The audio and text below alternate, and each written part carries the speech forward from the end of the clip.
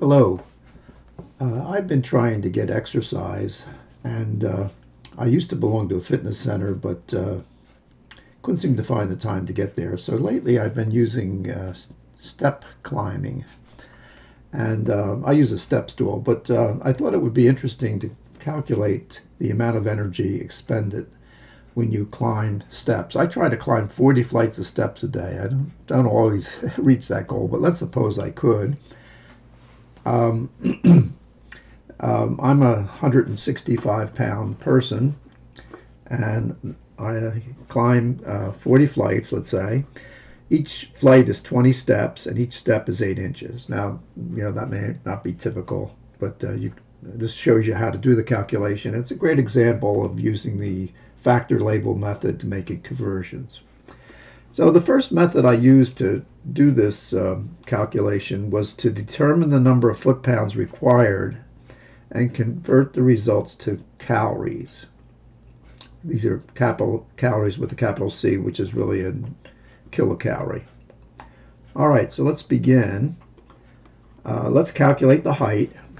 It's 40 flights times 20 steps per flight times 8 inches per step times 1 foot per every 12 inches, and that's 533 feet. My weight is 165 pounds. So if I take the feet times the pounds, I get 87,900 foot-pounds of energy. And if I uh, convert that the foot-pounds to calories, there's 0.324 calories per foot-pound. I use Wolfram Alpha to make the conversion multiplying through, I get 28,500 calories, but that's not nutritional calories. I have to divide by a thousand to get the uh, nutritional calories. 28.5 calories. It's a lot of effort for 28.5 calories, but it's good for your health.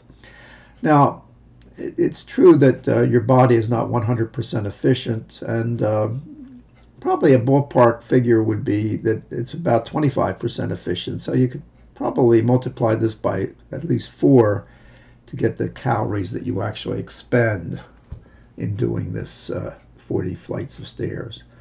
All right, let's do it another way. I'd like to just quickly show you a better, more rigorous way or uh, using uh, SI units. All right, so we have the same problem. 165 pound man climbing 40 flights, and uh, each step is 8 inches high. So here we're going to convert the kilograms, the pounds to kilograms, the flights to meters, and determine the energy in joules, and then convert to calories. All right, so let's let's begin. The mass is 165 pounds times 0.4536 kilograms per pound gives you 73.8 kilograms. That's the mass. The height well, it's 40 flights, 20 steps per flight, 8 inches per step, and I can just convert that directly to meters. There's 1 meter per 39.37 inches. That gives me 163 meters. Now the formula is mgh. For the energy, I take my kilograms times the acceleration due to gravity, 9.80 meters per second squared, times 163 meters. The units for that would be kilograms meters squared per second, which is a joule. So it's 119,000 joules. Um, to convert that to calories, 119 kilojoules and one nutritional calorie, which is a kilocalorie, for every 4.184 kilojoules, 28.4. Basically the same answer I got to just a round off error difference, 28.4 versus 28.5 nutritional calories. So this is a nice example of using the factor label method and um, um, you could do it for your own situation uh, or have students do it for their own situation. I think it's a nice little problem and I hope you enjoyed it and hope you can use it.